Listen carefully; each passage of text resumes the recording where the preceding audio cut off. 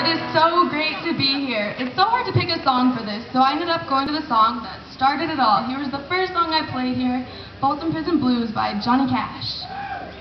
And nobody does it quite like Johnny, but I'm going to give it a heck of a good shot.